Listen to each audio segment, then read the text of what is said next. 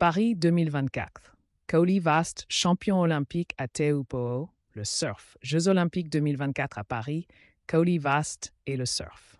La anticipation pour les Jeux olympiques de 2024 à Paris ne cesse de croître, surtout dans le domaine du surf. Dans le pittoresque Teahupo'o, Tahiti, cette compétition passionnante se déroulera, attirant non seulement des athlètes et des spectateurs, mais aussi offrant de nouvelles perspectives sur le surf pour 2024. Kaoli Vast, un surfeur talentueux de la Polynésie française, a récemment remporté le titre de champion olympique, faisant de lui une figure importante dans le surf international. Vast a remporté les compétitions de cette année et a ainsi été couronné premier champion olympique de surf. Les experts et les fans sont d'avis que ce succès ne stimule pas seulement sa carrière individuelle, mais élève également le surf à un nouveau niveau. Sa performance est considérée comme une preuve de l'importance croissante du surf dans les compétitions olympiques. Beaucoup croient que Vast pourrait maintenant devenir un modèle pour les futures générations de surfeurs. En plus du succès de Vast, Joanne Defey, une autre athlète exceptionnelle, a également fortement contribué à la popularité du surf dans le cadre des Jeux olympiques. Defey est considérée comme l'une des meilleures surfeuses du monde et a remporté plusieurs compétitions dans le passé. Elle est considérée comme une favorite pour les Jeux olympiques de 2024 et de nombreux passionnés de sport spéculent sur la manière dont elle se comportera à Tihupo. Ses performances avant les Jeux font espérer des filles passionnants. Les Jeux olympiques de 2024 offrent non seulement une plateforme pour ces athlètes talentueux, mais favorisent également l'intérêt et l'enthousiasme pour le surf auprès d'un public plus large.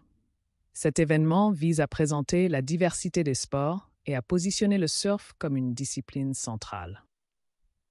Cela a également entraîné une augmentation considérable de l'intérêt pour le surf, avec de nombreux jeunes découvrant les plaisirs de la planche à vagues. Les préparatifs pour l'événement de surf à Tihupo'o sont déjà en cours. Les organisateurs s'assurent que les conditions pour les athlètes sont optimales afin de favoriser des performances exceptionnelles. L'événement promet non seulement des compétitions passionnantes, mais aussi une expérience inoubliable pour les spectateurs du monde entier. Le cadre à couper le souffle de l'île de Tahiti enrichira davantage les compétitions et offrira aux sportifs des vagues impressionnantes que l'on ne trouve que dans cette partie du monde. L'atmosphère entre les athlètes est marquée par la camaraderie.